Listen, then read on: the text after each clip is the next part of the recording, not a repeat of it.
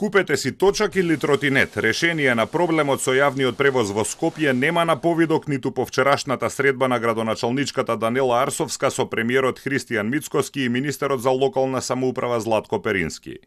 На топлото време Скопјани чекаат автобус по еден час зашто ЈСП нема доволно автобуси, но од 1 септември ситуацијата ќе биде уште полоша зашто учениците се враќаат на школа, па ќе има потреба од повеќе и почести автобуси кои не постојат. Арсовска го оцени вчерашниот состанок во владата како политички циркус.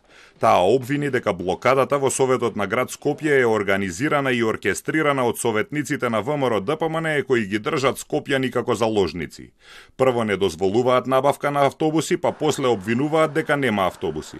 Не ја одобруваат програмата за работа на комунална хигиена, па потоа се жалат дека не е чисто, вели таа.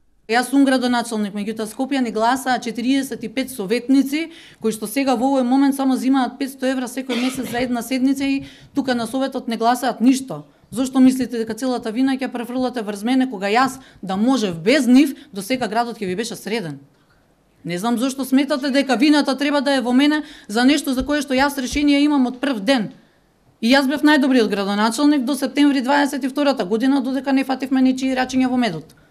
Од тога станав најлош градоначалник. Министерот Перински вчера обвини дека Арсовска на состанокот во владата дошла без план за надминување на проблемите, но таа вели дека презентирала план кој не им се допаднал, па в четврток ќе предложи нов.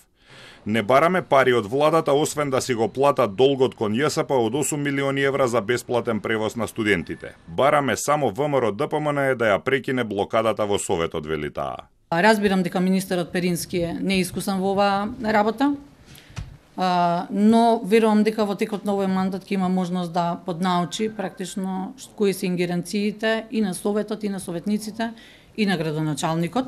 Во советничката група на ВМРО ДПМН е пак велат дека Арсовска уште еднаш покажала неспособност.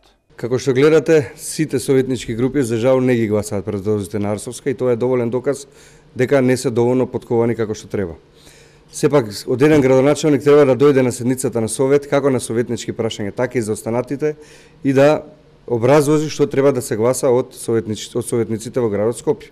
Ние како советничка група на ВМРО ДПМН и коалицијата сме секогаш спремни да изгласаме се што е во интерес на граѓаните, но се во рамките на законот, но никако поинако никако во интерес на Арсовска и незините бизнес делки што кружат во јавноста за жал. Арсовска стана градоначалничка кон крајот на 2021 година со подршка на ВМРО ДПМН, но по неполна година се скараа поради тендерот за пречистителната станица тежок над 160 милиони евра. Директор на Скопски водовод тогаш беше токму сегашниот министер Перински.